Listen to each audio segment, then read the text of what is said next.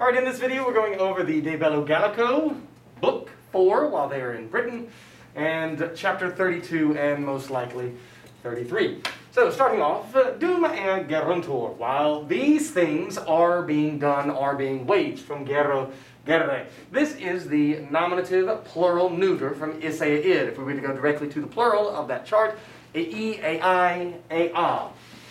With, so it's an ablative absolute, legiones modified by the word una, and misa is our perfect passive participle from mido, midere, misi, misus.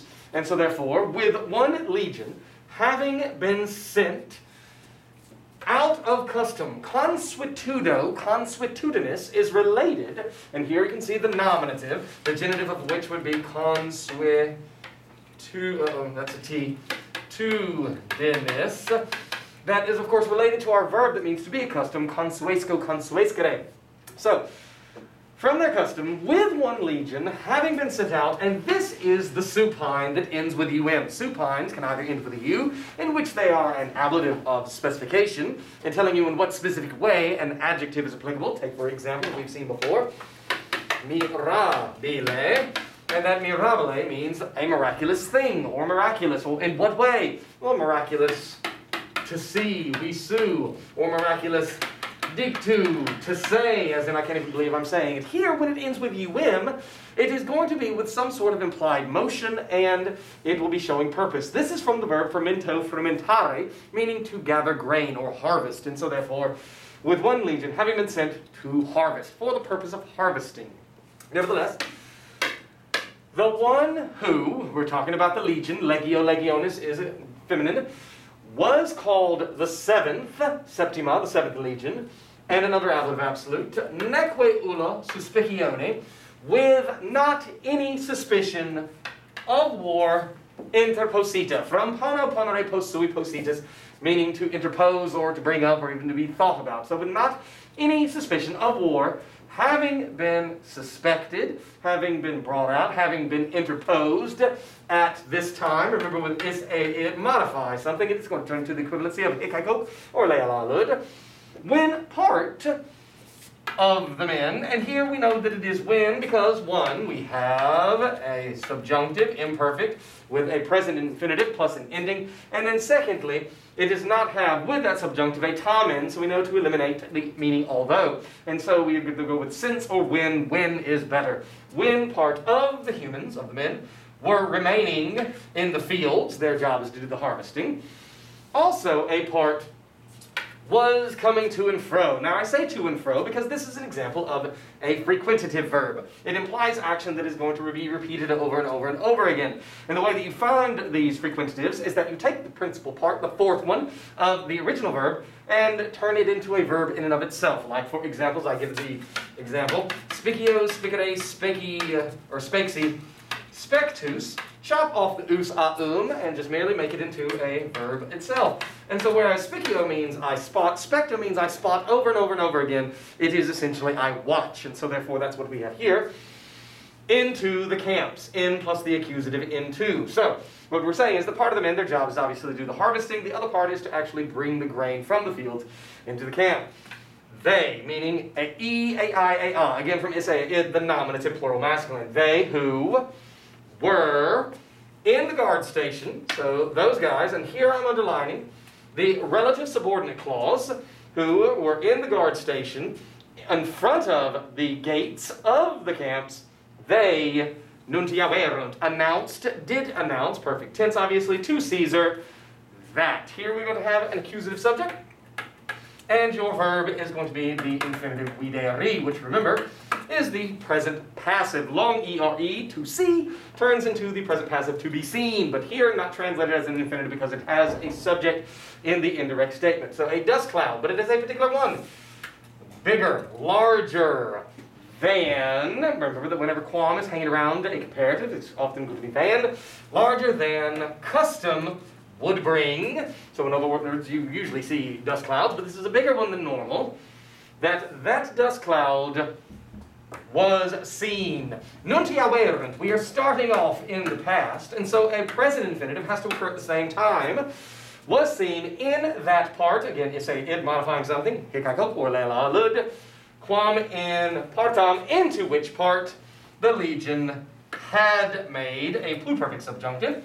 The perfect infinitive, fecisse, plus the ending t, it's journey. So where they had gone, obviously, it is at that spot that they see this dust cloud. So Caesar, he, having suspected a deponent verb, suspicor, suspicari, and it's a perfect passive looking, not having been verbed, but having verb. Having suspected it, which it was, meaning that he figured out that obviously they've probably been ambushed out there.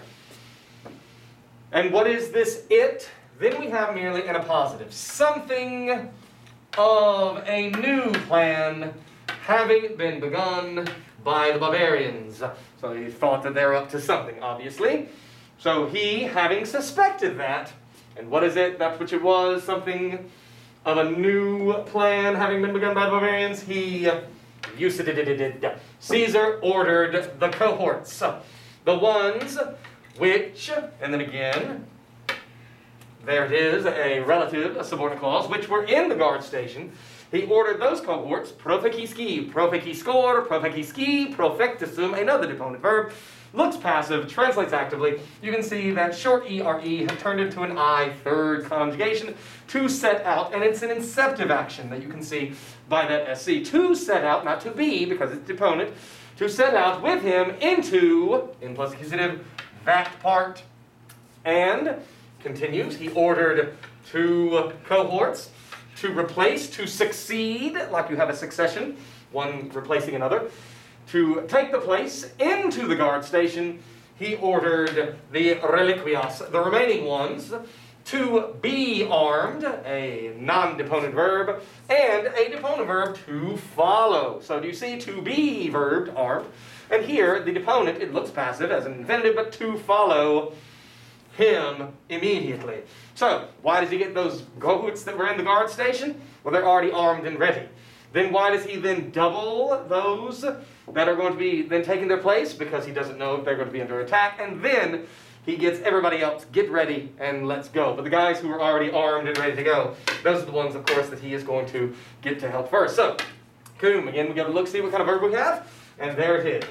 Pro que from cato, catere, kesi, kesus, the word that means to go, and then procato, proceed. It is a pluperfect subjunctive, the perfect infinitive plus an ending, so cum is either going to be when, since, or although. I don't see a tamen, so it's not going to be although. So when or since, probably when. So when he had proceeded from the camps, more longly, a comparative adverb, by a little bit, so in other words, he had gone not very far, but obviously far enough, he animadvertit. He notices or he noticed. I like the fact that it's probably going to be noticed. He did notice, because here we have a pluperfect subjunctive in the subordinate clause. It makes better sense. It would be the exact same form in the present and in the perfect, but we are going to go with the perfect. So he noticed that his own guys, primi. Now, of course, this is the deponent, or not deponent, non-deponent, from the verb premere, which means to press, and so to be pressed. He noticed that his own guys, and it's the verb of an indirect statement, so not to be pressed, but rather were pressed, happening at the same time as the animadvertit in the past by the enemies, and that his own guys sustained at the same time it weakly. So aegre is from aeger, aegra, aegrum, meaning weak or sick, and thus it's the adverb. And the legion, having been packed together conferta, he noticed that weapons, a which is from telum teli, a weapon, he noticed that weapons were thrown, iacio iacere ieci iactus, that shorty re turns into an eye, just like that shorty re turns into an eye, were thrown from all parts. They are surrounded. He notices that that obviously is coming in from every direction. For because, and another ablative absolute, he really does love them, only frumento demesso, from the verb that means, of course, to harvest, meto, metere, and then with a day on the front of it, you see the same exact verb, different form, right there as a gerund. But nevertheless, uh, because with all the grain having been harvested, perfect passive participle, from the remaining parts, one pars, one part was remaining. So, essentially think of it as a grid or a chessboard. And every single square on it is a particular field that the Romans are getting grain from. And so with every single chessboard square already harvested, as we see here, one part remains, the enemies are going to know that's where the Romans will show up in the next day. Because if you're hitting every square randomly, they won't be able to anticipate, but this one they did. And so it says that one part was remaining. And the enemies, having suspected, again, suspicor, suspicari, a deponent looks passive, perfect passive participle, but passive looking only, translates actively. Having suspected that accusative subject, Argives, would come, because here, suspicati, we are starting off in the past. The present or I should say the future infinitive, merely indicates that the action has to happen after. And so the after could be here in the past. Oh, there it is. Could be there in the present, could be there in the future. So would, would come to this place. So having suspected that our guys would come to this place at night in the forest, they had hidden.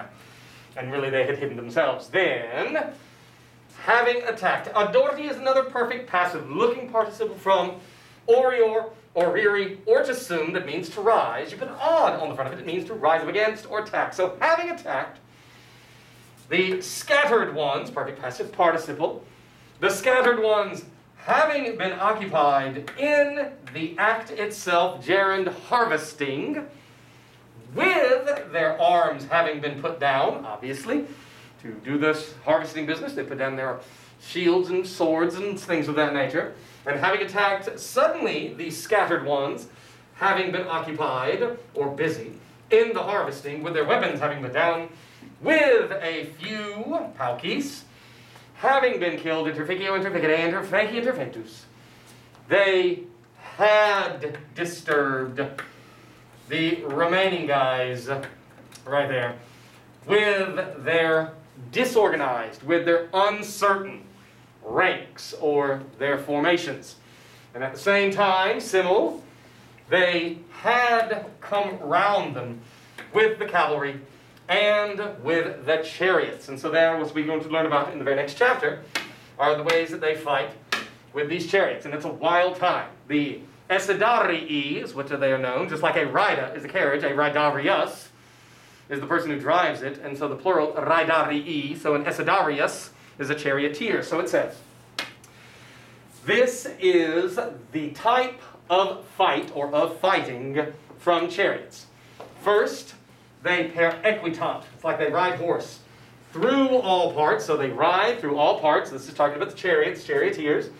And they throw their weapons, con ikiunt, iacio iacere, and they generally disturb the ranks, the formations, the ordines, the formations of Roman soldiers, by, by with because of from the terror itself of the horses and the noise of the wheels. It's just disconcerting in this fog of battle. And when, and here this is the specific temporal when, and I know so because I see a non-subjunctive verb. It's a perfect indicative. So when at a specific time, they have interwoven, insinuo, remember when you insinuate something, you interweave it, themselves between the squadrons of cavalry, the equites, remember the cavalrymen, they desiliunt, salio salire, to jump. So desiliunt, they jump down, ex ascenditis, out of these chariots, and they proeliantur, a deponent verb that means to battle. They battle on feet. So essentially, the chariots are merely a kind of confusing tactic. They actually fight as an infantryman. Meanwhile, the charioteers, the people who are driving these things, little by little, paulum means a little, paulatim means little by little. It's a temporal sense. They go out, they excate again this verb, cato, catering, not to be confused with cato, the fall, cato, to go, C-E-D. They go out, ex proelio, from the battle, and they locate, they park their chariots, their currus, in such a way, and that e to that degree words like tote, so many, tantus, so much, adeo, so, tom, so, all of those words can help to figure out that we are dealing with an ut result clause. in such a way that as a result, if they should, and when you have present subjunctives, you translate it as should, and you can see the other, other here, a subjunctive, ea, we, fear, fear, a line, because this is a third conjugation verb, premo, premere. They locate it in such a way that if they should be pressed by a multitude, and if those guys, i.e. the charioteers, by a multitude of enemies, they would have an unimpeded and expedited escape, reception to their own guys. And so essentially, they park their chariots by backing it into the parking spot. A student of mine one time had his father who was in the military, he calls it combat parking. And you can see it's literally that, that way there. And so finishing up, this is the end. In such a way, they, meaning the charioteers, provide. Price, not literally to stand before, but in this sense it's going to be like provide. So they provide a mobility of the cavalry. So they allow, with what they are doing in their tactics, that the cavalry have more free movement. They provide a stability of the foot soldiers. This would, of course, be the infantry. And so essentially they are providing to them support in proeliis, in battles. Remember, the proeliis comes from proelium, proelii, and they make it, remember this is nothing more than facio, facere, feci factus, with an ex on the front. They effect it. If you effect a change, that means you bring it about. And so they bring it about so much from, by with because of from in on at, their daily use and their daily exercise. So in other words, from their training, they bring it about so much that as a result, they, and then here with this ut clause, it is an ut result clause, and your verb is this perfect subjunctive consuerit. They have been accustomed. Remember, consuesco, consuescere? So they bring it about so much that as a result, on an incline and in a precipitous location, meaning a rather steep drop off, a drop off location, they have been accustomed, and they have been accustomed, sustinere, to do this, moderare, to do this, flectere, to do this, percurrere, to do this, insistere, to do this, and then finally, recipere. What have they been accustomed to do in a incline and a steep place? They have been accustomed to sustain, control the horses having been riled up, so at a full gallop, they're able to control them. But they are able to do so driving these chariots because of how often they train the daily use and the daily exercise to control the horses, having been incited, and brevi, imply tempore, in a short time, to moderate them, to bring them under control, and to bend them, as in to turn in a particular direction. Bad enough they're doing it to horses haven't been incited to full gallop, but they're able to do it in crazy places, but only because of their training. And this is where it gets wild to run along the hitch, the pole that connects the chariot to the actual yoke that is on the horses that connects the chariot to them. So to run through the connecting pole and to stand on the yoke, that is the wooden piece that's full or that fits over, and I can draw a picture of it here. A yoke is going to look like the following. So here you have it, and then you would have one spot for one horse and another spot for another horse. And so the horse's neck and back go into both of these, and it connects them to where they function as a team. And so that is to what you then attach the pole. So they have been accustomed to run through the pole and to stand on the yoke. So they run up the pole, they stand on top of the horses, and from there, inde, from there, they have been accustomed to recover, receive themselves, uh, implied back, into the chariots very quickly. Let's see if the drawing I have is still up there or no. Nope, it's not still up there.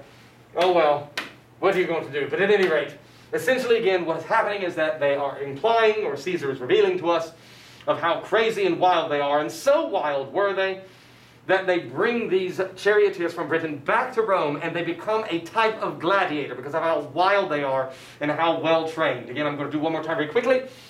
They have brought it about so much from their daily use and exercise that on an incline and a drop off location, a precipitous place, they have been accustomed to control the horses having been riled up incitatos, and in a short time to moderate them, and to bend them, turn them, and to run through the pole, the connecting pole, the hitch, and to stand on the yoke, and from there to recover themselves back into the chariots most quickly. So, crazy times with the essedarii. Good luck studying.